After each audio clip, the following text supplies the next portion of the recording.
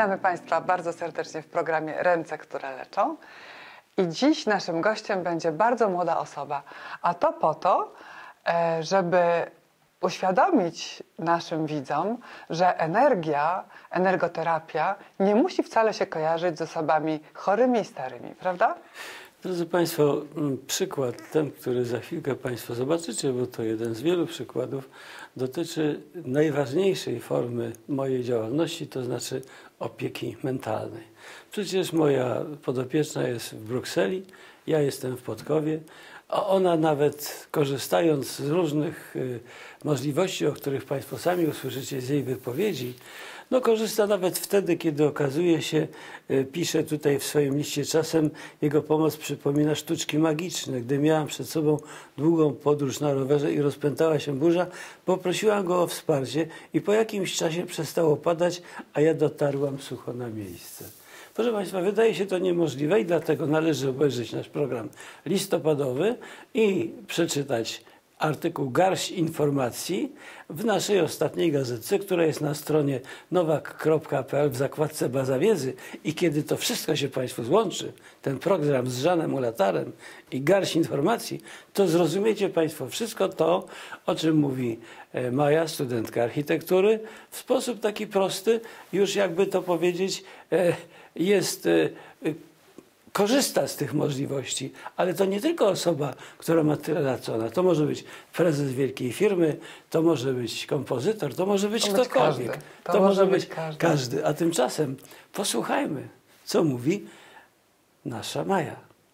Witamy Państwa bardzo serdecznie w programie Ręce, które leczą. Naszym dzisiejszym gościem jest Maja, studentka architektury, która e, obecnie jest e, w Belgii. Tam studiujesz w ramach e, wymiany studenckiej Erasmus. Tak. Maju, chcę z Tobą porozmawiać o takim schemacie, który się wytworzył w rozumieniu wielu ludzi, że bioenergoterapia, energoterapia to jest ewentualnie pomoc dla osób starszych i chorych.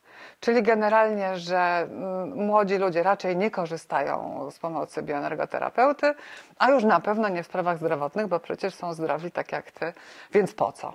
E, Tymczasem e, jesteś tutaj, żeby opowiedzieć o tym, że od dość dawna e, intensywnie dość korzystasz z pomocy Zbyszka i zacznijmy od początku.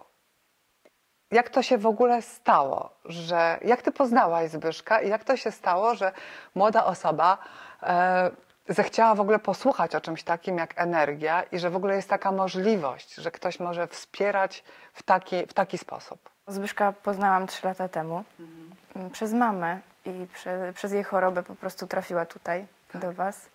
A mieszkamy po sąsiedzku i podobno od dawna już wiedziała, że tutaj, że tutaj mieszkacie, jesteście, ale nigdy się nie wybrała. Ze względu na różne okoliczności po prostu jej znajomi ją tu przyciągnęli. A, a ona mnie, czy swoją całą rodzinę. I dzisiaj wszyscy korzystamy po prostu z tej pomocy. No Zbyszek, Zbyszka pierwszy raz zobaczyłam u nas na obiedzie. Mhm. To I- rzeczywiście było trzy lata temu już? O, jak ten Myślę, czas że leci? trzy lata, tak. Aha. Co wtedy pomyślałaś? No byłam bardzo sceptyczna do tego. Aha, Tak. aha. Nie dlatego, że, że to energoterapeuta, tylko przez jego osobowość, która jest bardzo silna. Nigdy, nigdy mi się nie kojarzyła z właśnie wróżbitami, czy jasnowidzami, czy kimś, kto może widzieć więcej. Był po prostu bardzo charyzma- charyzmatyczną osobą. Ale właśnie powiedziałaś, e, e, nie, nie kojarzył się z kimś, kto może widzieć więcej, bo twoja e, tw współpraca ze Zbyszkiem, tak bym to nazwała, e, i pomoc Zbyszka dla ciebie właśnie bardzo silnie związana jest z tą jego umiejętnością widzenia więcej, prawda? Bo tutaj rzadko się zdarza, że on pomaga ci w sprawach zdrowotnych, chociaż pewnie przez te trzy lata się też zdarzyło, że były jakieś gorsze chwile i mógł cię wesprzeć też energetycznie dla zdrowia. Ale mam wrażenie, że to, że e, zaufałaś mu w którymś momencie i pozwoliłaś sobie na to, żeby e, kierować się według jego rad, to jest właśnie to, że zrozumiałeś, że on rzeczywiście widzi więcej i że może wyprzedzić pewne, pewne fakty. Dobrze mówię? Tak, to Dobrze kombinuję?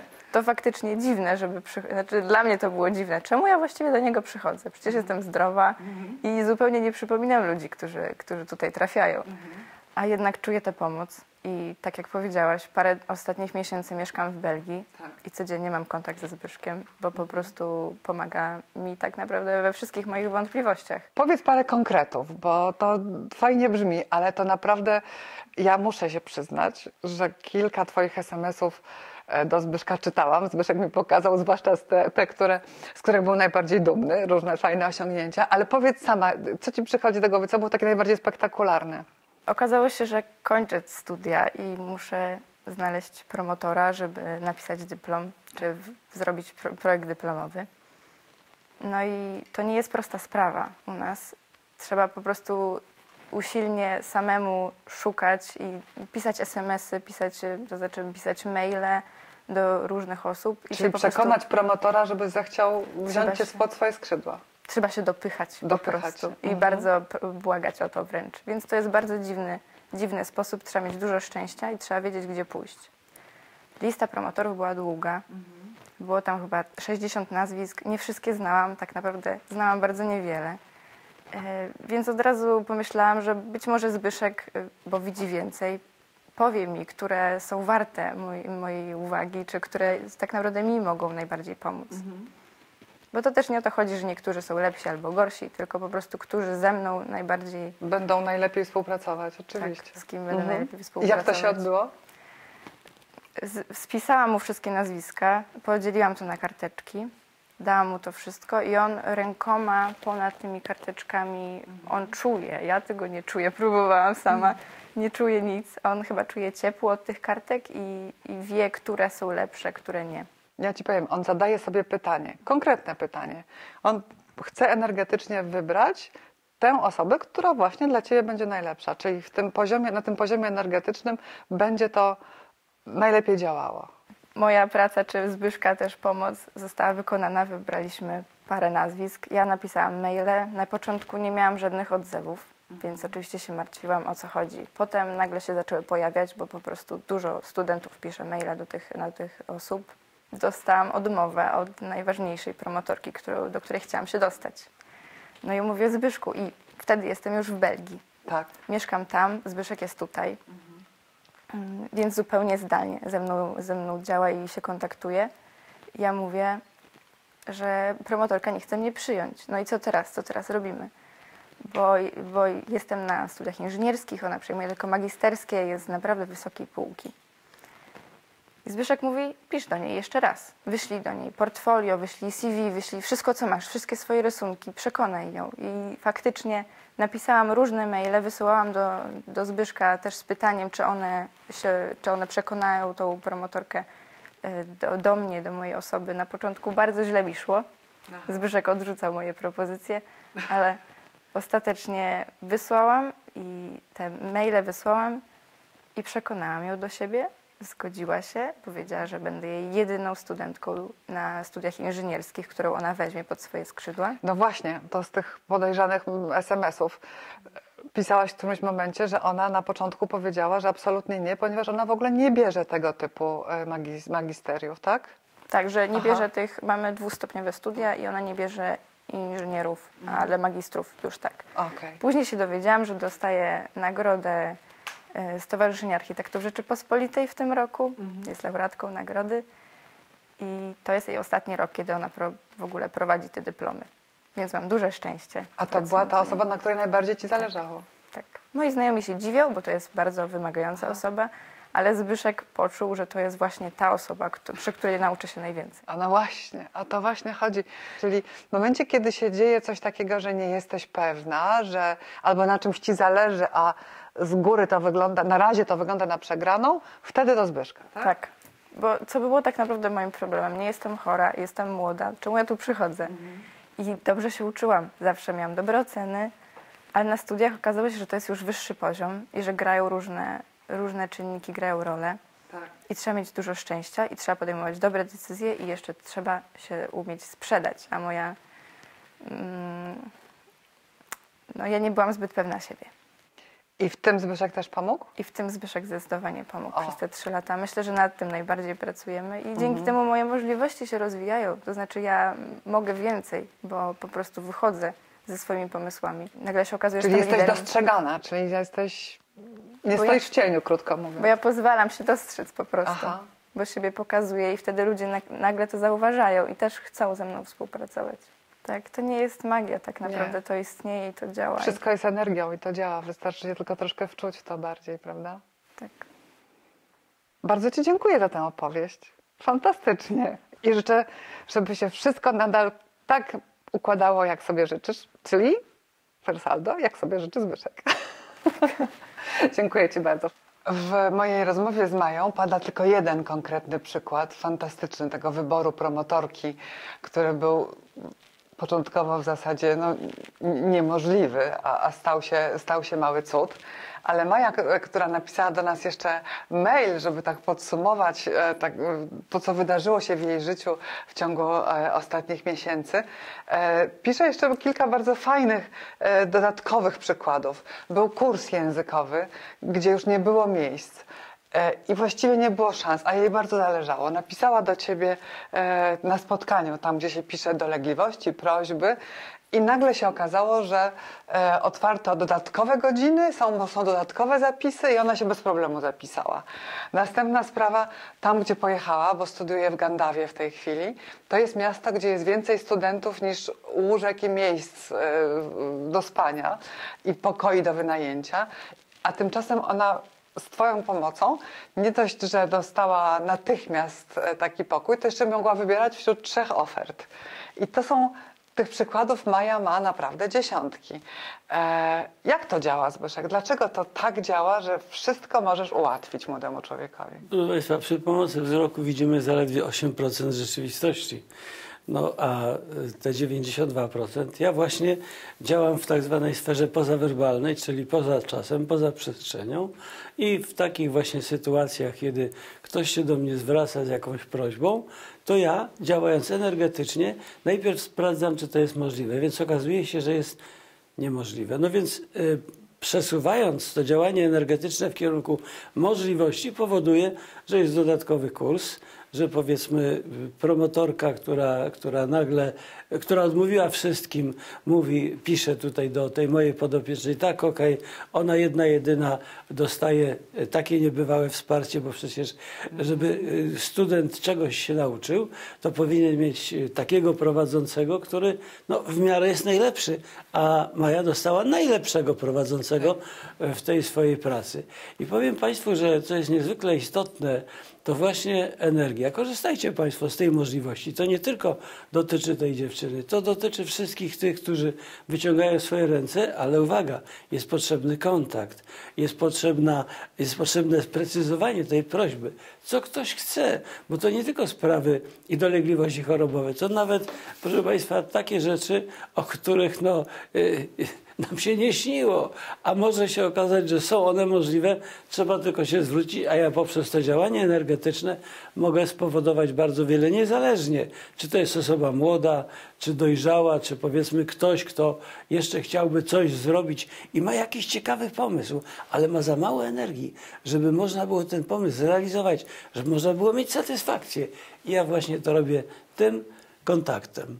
No właśnie, Maja mówi, że dzięki e, Tobie e, się rozwija, rozwija się jej intuicja, e, nie działa w stresie, działa spokojnie, czyli może widzieć więcej, prawda? Bo to jest to wszystko, co e, bardzo łatwo się daje wytłumaczyć. Energia rozkurcza naczynia krwionośne, tak?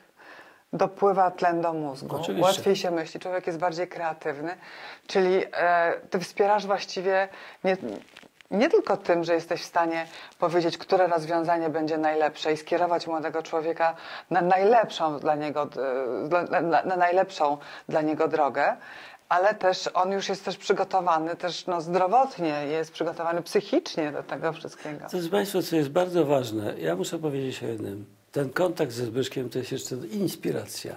Inspiracja polegająca na tym, że czasem zwracacie się do mnie Państwo z problemami. Ten problem polegał na tym, że moja podopieczna miała dużo pieniędzy i pyta się, co zrobić.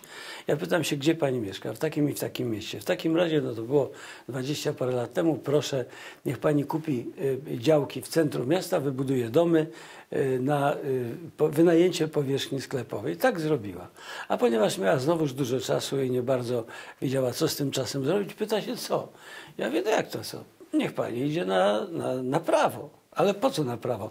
No żeby, jak będzie taka potrzeba, to żeby pani mogła bronić tych swoich wszystkich spraw, no bo wiadoma sprawa, że nieruchomości to wynikają z nich różne sprawy, różne problemy. Skończyła to prawo z wynikiem bardzo dobrym. O dziwo. Jeszcze mówi, co? Ja, stara baba, na prawo? Skończyła to prawo i pyta się, za, co dalej? A jak to co dalej? Doktorat. Doktorat, oczywiście. Ja, stara baba, doktorat. E, To mówię, poproszę o tytuł pracy doktorskiej. Przyniosła tytuł pracy doktorskiej. Ja napisałem jej plan doktoratu, a pan profesor był bardzo zadowolony. Sprawy, które do tej pory były niemożliwe, stają się możliwe. To dzięki właśnie temu kontaktowi, temu wsparciu. A tymczasem, proszę Państwa, no co? Zapraszam Państwa na przekaz energii. Wyciągamy nasze dłonie, pamiętajmy, zawsze to jest nasz pierwszy gest, ten drugi, ten trzeci. Tylko moje dłonie będą do Państwa odwrócone i chcąc, żeby ta energia popłynęła jeszcze silniej, jeszcze potężniej, co robimy? Uruchamiamy naszą psychikę. Najłatwiej się uśmiechnąć, a więc oczywiście, dlaczego nie? Próbujemy, uśmiechamy się i zaczynamy ten nasz główny, potężny przekaz energetyczny. Energia, która płynie do Państwa, jest opisana znakiem ujemnym. W tym znaku pracuje cały nasz organizm. Niektórzy z Państwa w tej chwili w swoich dłoniach mogą coś czuć. To takie może być uczucie mrowienia, drętwienia, uczucie odchodzącego od dłoni ciepła. Jedna minuta. Druga. Dłonie przybliżamy, nie składamy. Teraz ta energia ulega uformowaniu. Może występować odpychanie, przyciąganie. Możemy nie czuć nic, ale jeżeli parzy w dłonie, dłonie rozsuwamy do takiego momentu, kiedy nie czujemy tego żaru. To jest nasz drugi gest. Przed snem bardzo dobrze, rano jak się obudzimy, nic to nas nie kosztuje, a tak wiele znaczy. Nasz trzeci gest, obie dłonie kładziemy na naszym ciele. Pamiętamy o tym, aby palce się nie łączyły i ręce nie krzyżowały. I w tej chwili ta energia przepływa do naszego ciała. Wszędzie, powoli będzie się rozpływać, a na zewnętrzne strony naszych dłoni z całej powierzchni spływa ten śmietnik energetyczny. I kiedy mija trzecia minuta, oczywiście umowna, co robimy? Odpromieniowanie. Odrywamy dłonie, odrzucamy, jakbyśmy coś strzepywali i klaszczemy. Drodzy Państwo, trzeba uważać o jednej sprawie, o tym, że po tym naszym kontakcie, który wygląda niezwykle lekko, mo- może występować temperatura, biegunka, wymioty, wysypka, dreszcze. Dlaczego? Organizm poddany tym oddziaływaniem wyrzuca wszystko to, co nam przeszkadza. Te silne reakcje są rzadko, ale kiedy występują i Państwo o nich wiecie, na pewno nie będziecie się denerwować. Tymczasem, drodzy Państwo, ten zapowiadany właśnie, jak zwykle, e, przekaz do energetyzacji wody. Dlaczego? Bo woda to jest ponad 70% masy naszego ciała. Bardzo istotne, żebyśmy wiedzieli o tym, że na 30 kg wagi ciała 1 litr wody Drodzy Państwo, bardzo ważna sprawa.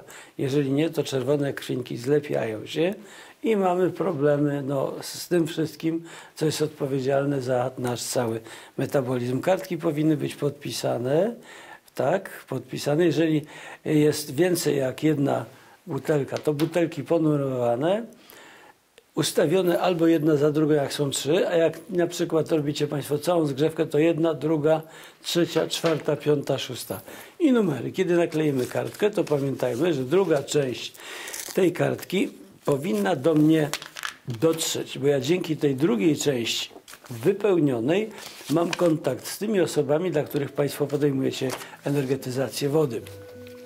Teraz, proszę Państwa, przybliżamy dłonie do dolnej części butelki i zaczynamy energetyzację wody.